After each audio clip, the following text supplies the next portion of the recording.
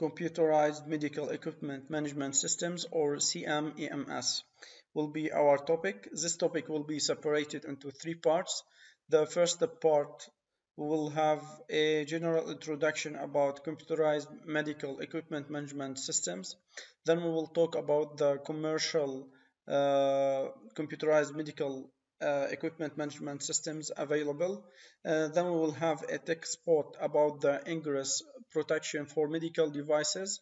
Uh, and it's important uh, when we are talking about the disinfection methods for the medical devices. Uh, the second part will be a practical example about computerized medical equipment management system. This example will be about HEMS, which is developed by EQ2, uh, and it will be the topic for uh, this second part. Uh, also, in the second part, we'll talk about the planning for the acquisition of a computerized medical equipment management system and its implementation. And finally, we'll talk about the future of computerized medical equipment management system and uh, its relation to the big data and uh, artificial intelligence analysis. And I have uh, a proposal concerning this. So as we said, the, the topic of this uh, will be about uh, computerized medical equipment management system. So it's related to the management part and not uh, only dedicated for the maintenance. Uh, because we have a computerized medical equipment uh, maintenance system which will be only dedicated for the maintenance phase and not covering the whole phase. So the topic will be for the med uh, computerized medical equipment management system. Also in the future i expect we will have a computerized medical equipment uh, system for the planning part and the management part. This is an example of a medical equipment maintenance management.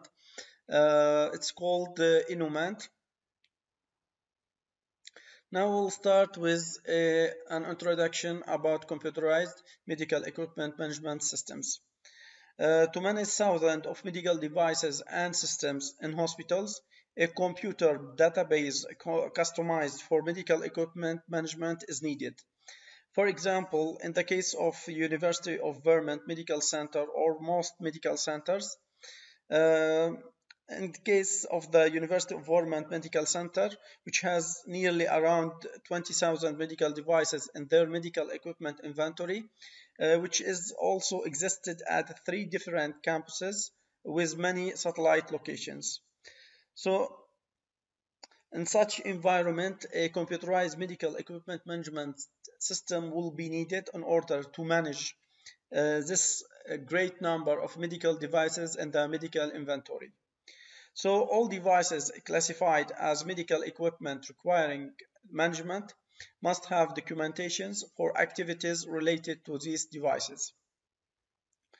Uh, such activities will include deployment and installation of uh, these devices, uh, acceptance testing for new devices, schedule and unscheduled maintenance uh, with uh, parts and labor expenditures, recalls, and finally other events needed to be documented such as uh, incident investigations and other activities and events. Such system is called a computerized medical equipment management system. AIMS is a famous computerized medical equipment management system which was developed by Phoenix Data Systems and is currently acquired by the ECRI Institute. So what is the purpose for the computerized uh, medical equipment management system? Uh, the purpose is more than documentation for uh, regulatory stand, uh, standards or legal purposes.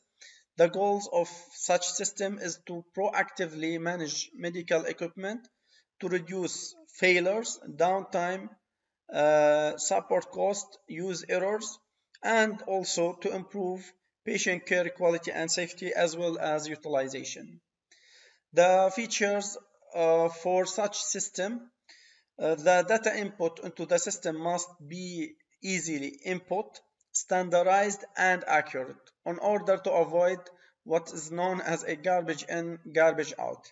So the computerized medical equipment system should have or should be able, firstly, to collect data about the medical devices and then analyze and present the information in a variety of formats. Uh, for example, web-based PDF, native database such as SQL format, printed reports exported to spreadsheets such as uh, Excel. Also uh, output through other means, uh, for example, text, phone, and pager means for emergent situations. So this is a model for a garbage in, garbage out.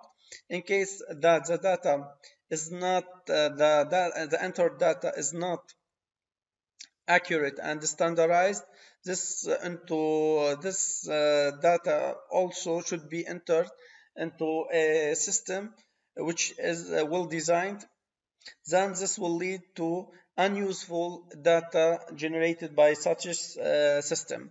So we should have a data entry uh, which is accurate and standardized, uh, standardized as well as the computerized medical equipment system should have certain features in order to have a useful information generated as reports. Now we'll talk about the commercial computerized medical equipment management systems. Uh, we have three types of such commercially available systems.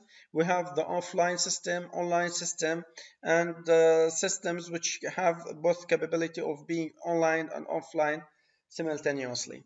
So what the uh, offline means? Uh, offline is uh, where the computerized medical equipment management system software is installed in a hardware or in hardware which is exacted, uh, existed physically, physically in a healthcare facilities, such as a hospital or a medical center. Such hardware uh, will include server or servers, network infrastructure, and so on. Whereas the online system, uh, the software is access, uh, accessed online through user accounts similar to any online account, emails, Facebook, LinkedIn, and so on. The only uh, hardware needed to have access to such systems uh, are PC, computers, desktop or laptops, PDAs, smartphones, tablets, and so on.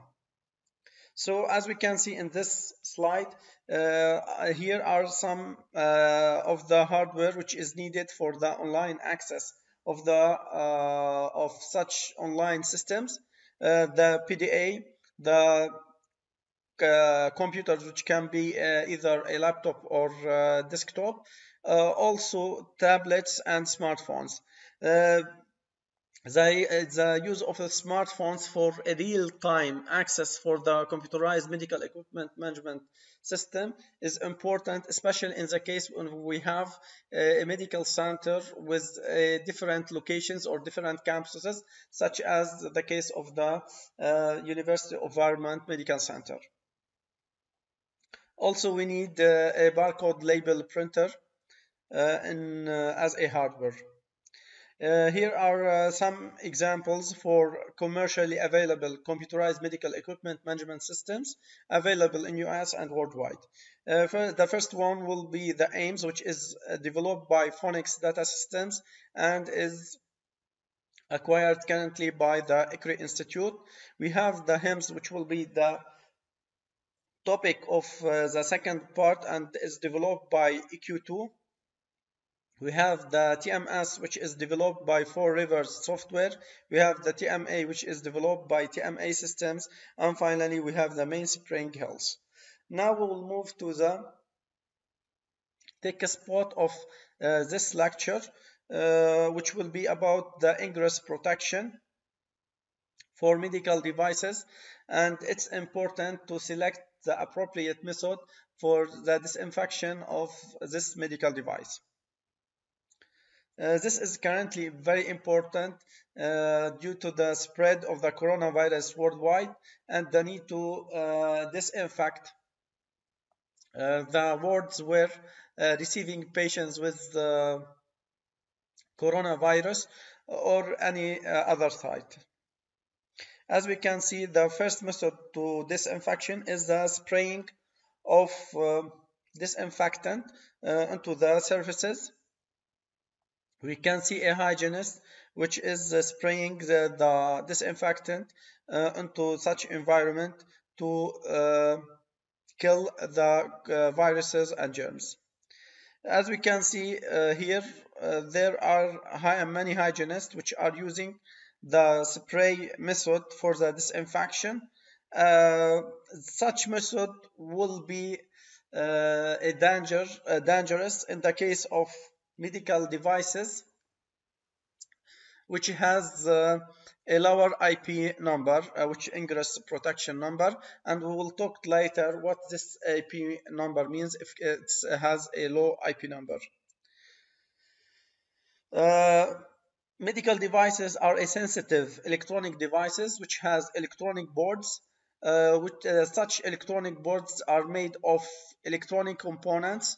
Uh, some of these electronic components generate heats and needs um, thermal management uh, for to remove this heat uh, for the proper working of these uh, electronic components and boards. this will be challengeable for the disinfection method in case we have uh, medical devices uh, which need uh, to get rid of a lot of heat generated by this device by these devices. Uh, as we said, the first method is the spraying of this uh, disinfectant, and this will be very dangerous in case, for example, if we consider this laptop, which has a fan, and which, uh, in, in, the case of spray, spraying the disinfectant, this will enter into the electronic boards of this laptop, into the hard disk, into the motherboard, and will lead to the, the uh, failure of this laptop or even complete damage. So in this case, the better method is to spray the disinfectant onto a cloth and the uh, disinfecting the surface of this laptop with this cloth. Similarly, the case of the medical devices, in case they have uh, a high thermal uh, or high energy generated by the electronic components of these medical devices, it's better to avoid the direct spraying of this uh, disinfectant or else a failure or a complete damage of this device will happen. Another, another method to disinfect uh, the surfaces or medical devices in a hospital is a use of ultraviolet radiation. Uh, we can see here a robot which uh, is UVD uh, robot which is developed by Blue Ocean Robotics which is used to disinfect the medical devices and the different areas and surfaces in a hospital. Now we'll watch a short video about this and how this, uh, this uh, by the way, this uh, robot is autonomous, which has self-driving and has a lot of safety features. Now we'll watch this video.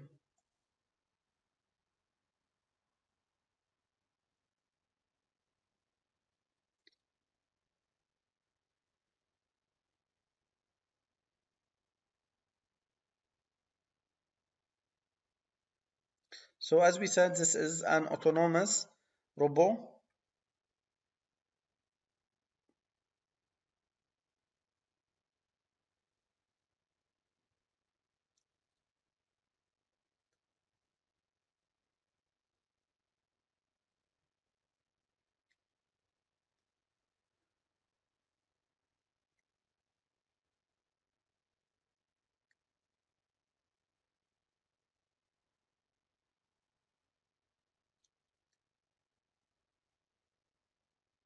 So as we can see, it's a self control. So what is an IP address, uh, IP rate or code? Uh, IP is an acronym for ingress protection. Uh, it, uh, as we can see, it will be made up of two numbers and two letters. We have what we call uh, IP rating guide. So what is IP rating? Each IP rating has two numbers and two letters. The two numbers, both of which uh, give information about the protection level. A higher numbers means a greater protection against solids and liquids. The first number will be from 0 to 6, which refers to the level of protection against solid objects and moving parts such as dust, debris, and other solid matter. The second number will be from 0 to 8, references the level of liquid and moisture protection. Uh, recently, the second number, which will be the protection against liquid, will become from 0 to 9. So the IP code, uh, the IP codes range from IP 00 into IP 68 or recently IP 69. This according to the uh, IEC 60259 standard, which is the International Electrotechnical Commission standard for the uh, ingress protection. Uh, also another important when we are talking about the disinfection of the medical devices about the vapor spray or aerosol. Uh, so we are talking about the second number. So having a higher number a second number the higher the protection in the case of of, of disinfection using uh, aerosol or uh, vapor. So as we said the IP number or code is made up of two numbers, and two letters. I'm Connor with GME Supply, and in this video, we're going to explain IP codes, or as it's also known, the Ingress Protection Rating System. The Ingress Protection System is a classification system that determines the degrees of protection an electrical enclosure has against solid objects and liquids. Essentially, when you hear the term waterproofing or water resistance, the IP rating will be the actual value to which the device is protected. As an example, we're going to look at the new NXP500 digital two-way radio from Kenwood. It boasts an IP55, 56, and 67 protection rating. IP ratings are given to a wide variety of everyday electronics, like the cell phone in your pocket, flashlights, power tools, and obviously two-way radios. They're also extremely important when it comes to electrical instruments that may be used in high voltage situations. In fact, there are typically standards that electrical instruments must meet to be used for certain types of work. However, as we're talking about Kenwood radios, simply put, the higher the IP value, the tougher the radio. So what do each of those numbers mean? Well, the first digit rates the amount of protection from solids, from larger objects like fingers and tools, all the way down to microscopic dust. This number is going to tell you what kind of solids could potentially enter the enclosure. The first digit is rated on a scale of 0 to 6. 0 meaning no protection from any solid object, and 6 meaning complete protection from the smallest solids, like dust. The second digit defines an electrical instrument's resistance to liquids. This value is rated on a scale of 0 to 8. Once again, 0 means no protection from liquids entering the enclosure, and 8 means the enclosure has total protection from liquids. For both digits, the values between define various tests and procedures done to evaluate the protection level. One criticism of the Ingress protection rating is that a device could potentially pass a high level of testing but that doesn't always mean it'll pass a lower level due to differences in testing procedures. So let's jump back to the NXP500 radio that we mentioned earlier and break down what those IP values are. To begin with, it's IP67, which is about as much protection as you can get. This means it's completely sealed off from dust and can withstand total immersion in water up to 1 meter for 30 minutes. This radio also meets IP55 and 56 ratings, which differ from 67 by using high and low pressure water jets to test its protection. So when comparing devices, make sure you look for multiple levels of rating to know you're totally protected like the NXP500. Now that you understand the IP code for electronic enclosures, you understand that the NXP500 is a seriously tough radio. So this is a general uh, video about the ingress protection. Uh, now we can see the ingress protection rating guide. As we said, the recent uh, scale for the second digit becomes from 0 up to 9. So the scale for the solid will be from 0, from 0 to uh, 6 and the scale which will be uh, the protection against solids. The second number which will be the protection against, uh, against liquid uh, will be have a scale from 0 till 9 as we can see here uh, automated external defibrillators uh, commercial uh, ones um, we have different IP rating for each manufacturer and each model. Now we will watch uh, a brief video which shows the testing of, of, a medical device which is a medical clinical assistant uh, we will have the testing against uh, a test what we call a water splash test uh, for the testing of the eye uh, ingress protection IPX4, which will be, as we said, will be useful in, in deciding the disinfection method. So we are studying the second number. So in this video, we will see how the testing uh, for the ingress protection will be done for such devices.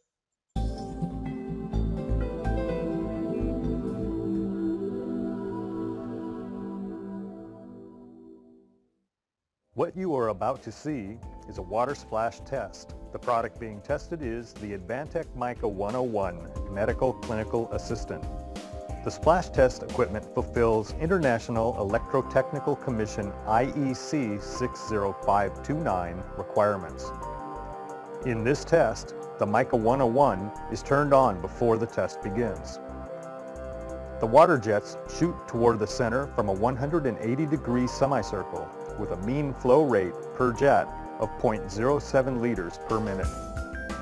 The semicircle oscillates through nearly 360 degrees, 180 degrees on either side of vertical, subjecting the Mica 101 to water spray from every side. After 10 minutes of water assault, the Mica 101 is still running like a champ.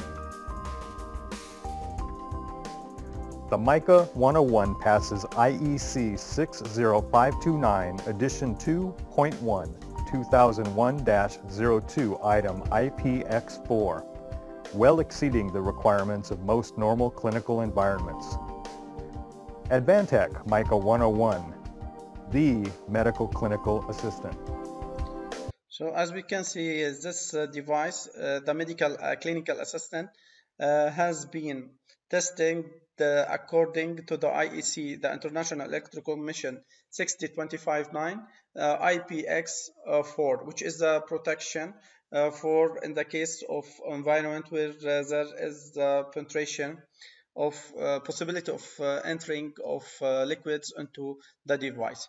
If, as a summary, we should uh, try to avoid or guide the staff who are uh, disinfecting uh, the medical devices and surfaces in the and especially the medical devices in a hospital or a medical center to avoid a direct spraying of the aerosol or the disinfectant into the medical device in order to avoid a possible failure or damage for this device due to the uh, failure of the electronic components and the electronic boards uh, of these of these medical devices.